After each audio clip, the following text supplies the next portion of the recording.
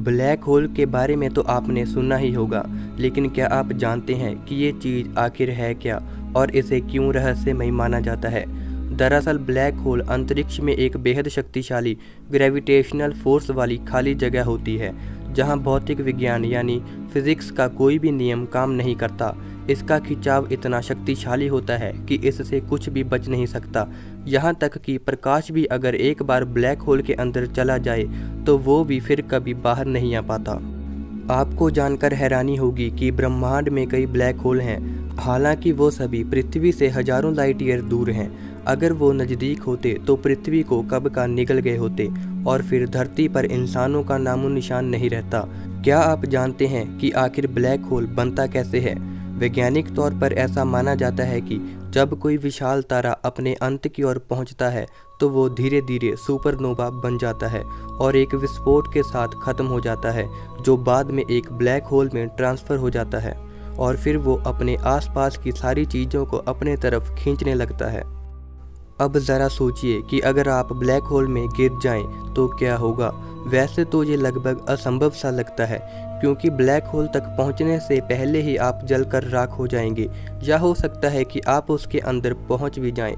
अब black hole के अंदर घुसने के बाद क्या होगा? क्या कोई दूसरा ब्रह्मांड आ जाएगा या आप दूसरी दुनिया में पहुँच जाएँगे?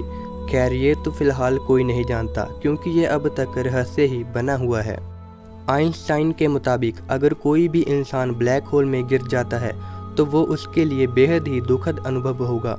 क्योंकि वो इंसान कभी भी वहाँ से बाहर नहीं निकल पाएगा और लगातार नीचे ही गिरता जाएगा और उसका शरीर कुछ ही पल में ख़त्म हो जाएगा। पिछले साल ही वैज्ञानिकों ने एम एटी सेवन गलेक्सी में मौजूद एक विशाल ब्लैक होल की तस्वीर जारी की थी। बताया गया था कि ये ब्लैक होल आकार में पृथ्वी से 30 लाख गुना बड़ा है और वज़न में हमारे सूरज से 650 करोड़ गुना से भी ज़्यादा भारी है। इसे ब्रह्मांड का सबसे बड़ा ब्लैक होल माना गया है। कहा जाता है कि ब्रह्मांड के करोड़ों तारों को मिलाकर जितनी रोशनी होगी, ये उससे भी कहीं ज़्यादा चमकदार है।